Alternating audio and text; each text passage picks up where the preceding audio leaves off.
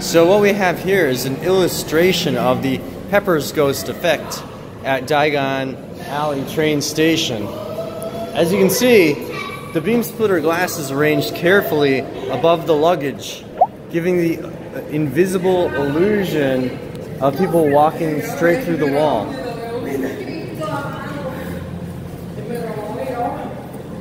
You'll see in a second how people are magically able to pass through the wall to the Pepper's Ghost effect.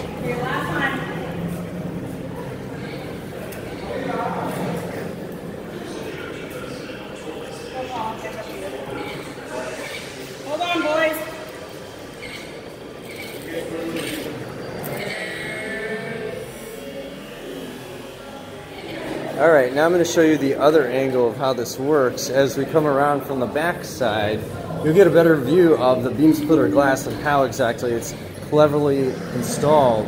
You can see the frame there is actually a luggage dolly.